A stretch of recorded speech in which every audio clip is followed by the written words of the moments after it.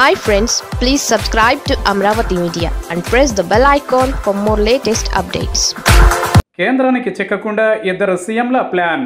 ఇది కదా చేయాల్సింది.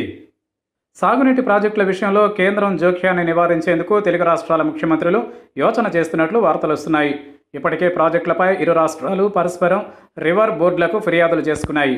ఇదే అదనుగా కేంద్రం జోక్యం చేసుకునేందుకు ప్రయత్నిస్తోందన్న అనుమానాలు ఉన్నాయి.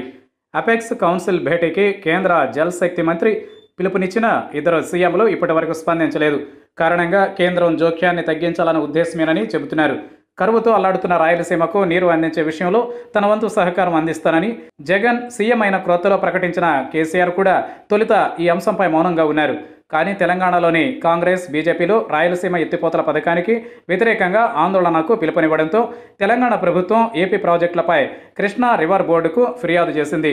దీనిపై స్పందించిన ఆంధ్రప్రదేశ్ ముఖ్యమంత్రి తమకు కేటాయించిన వాటా నుంచే రాయలసీమకు నీరు తీసుకువెళ్తామని ఇందులో పక్క రాష్ట్రాలకు జరిగే నష్టమేమీ ఉండదని వివరణ ఇచ్చారు.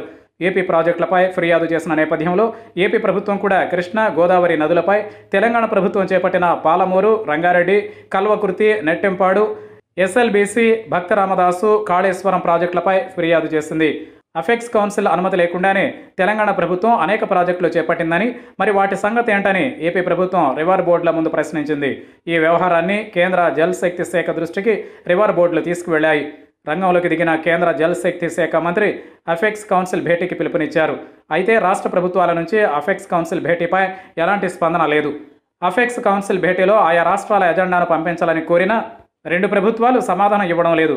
అంతా అనుకున్నట్లు జరిగి ఉంటే ఈ నెల రెండవ తేదీన కేంద్ర జల్ శక్తి మంత్రి చైర్మన్గా సభ్యుల హోదాలో ఇద్దరు ముఖ్యమంత్రులుగా అవెక్స్ కౌన్సిల్ మీటింగ్ జరుగుతుందని భావించారు. కానీ రాష్ట్ర ముఖ్యమంత్రులు మాత్రం మౌనంగా ఉండడంతో భేటీ ఖరారు కాలేదు.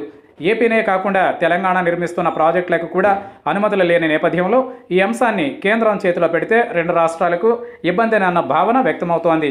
రెండు రాష్ట్రాలు గొడవ పడితే ప్రాజెక్టులపై కేంద్రం పెత్తనం పెరగడానికి అవకాశం ఇచ్చినట్లు అవుతుందన్న భావనతోనే ముఖ్యమంత్రులు ఉన్నట్లు చెబుతున్నారు.